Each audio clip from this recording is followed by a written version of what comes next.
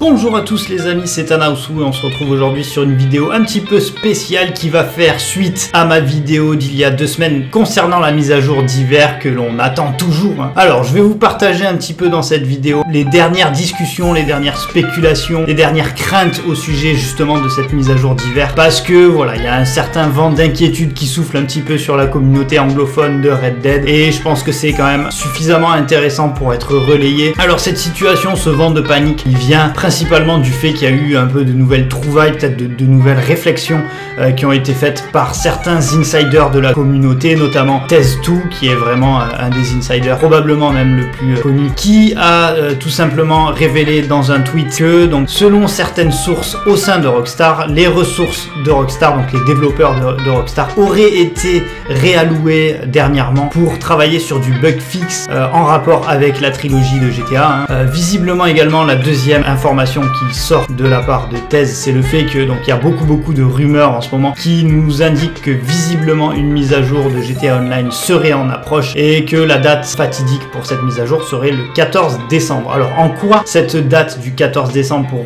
GTA Online, elle vient impacter et elle a une incidence sur la future potentielle mise à jour de Red Dead Online Ben, Tout simplement parce que ça réduit la fenêtre de tir en fait de la sortie de la mise à jour d'hiver de Red Dead. Pourquoi? Parce que historiquement, on sait que GTA a toujours la priorité sur Red Dead parce que GTA c'est la poule aux œufs d'or, c'est le jeu qui est beaucoup plus rentable. Donc la mise à jour de Red Dead sort toujours un petit peu avant, en général elle sort toujours une semaine avant la mise à jour de GTA Online pour éviter de cannibaliser et détourner la player base de GTA Online qui reste donc l'attraction principale on va dire.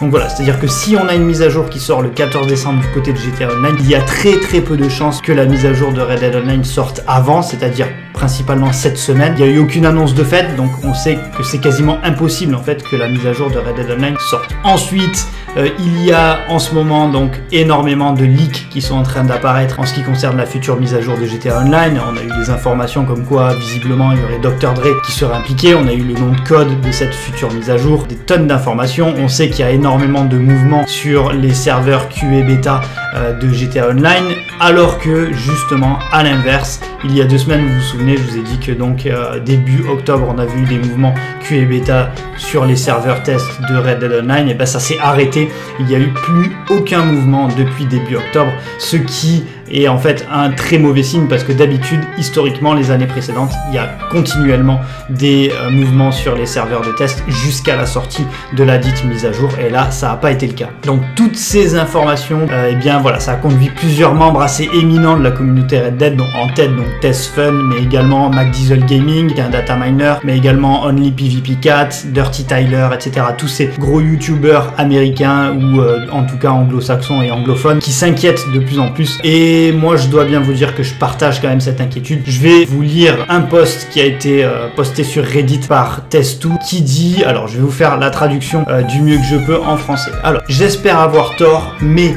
plus on s'approche du 7 décembre et plus j'ai l'impression qu'il n'y a en fait aucune mise à jour en développement pour Red Dead Online. J'y réfléchissais l'autre jour alors que je surveillais l'historique de la base de données Steam de Red Dead 2.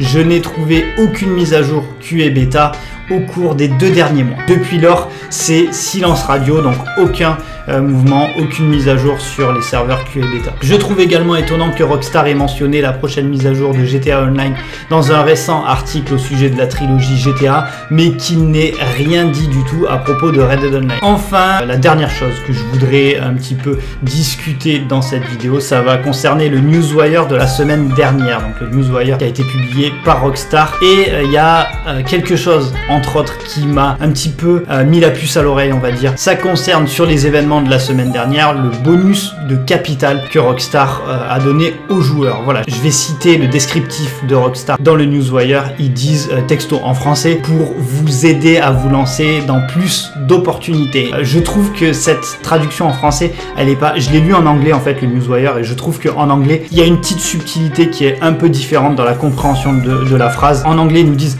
to help you prepare for more opportunities. Et ça, pour moi, texto, ça veut dire pour vous aider à vous préparer à de nouvelles opportunités. Mais sous-entendu, de nouvelles opportunités qui arrivent, de nouvelles opportunités futures. Pour moi, c'est une tournure de phrase qui est pas anodine et qui, en anglais, sonne plus comme euh, une possible, en tout cas, une possible interprétation de ce newswire. C'est laisser entrevoir plus d'opportunités du crime du sang, peut-être en guise de mise à jour d'hiver. Donc voilà, euh, moi en gros, ce que je pense pour cette mise à jour d'hiver, c'est que c'est fort possible, en tout cas vu les inquiétudes qui planent un petit peu au-dessus de Red Dead Online en ce moment, c'est qu'on n'ait pas de mise à jour, hein, qu'on n'ait pas de nouveaux rôles, qu'on n'ait pas tout ça, toutes les mises à jour telles qu'on les a eues les années précédentes. Il est fort possible qu'on n'en ait pas, mais que quand même Rockstar ne nous laisse pas sans rien du tout et nous donne un petit peu en guise de, de mise à jour, on va dire, plus d'opportunités. En gros, dans les grandes lignes, pour moi, ça va pas être joli joli, donc mieux vaut ne pas trop se hyper, même ne pas se hyper du tout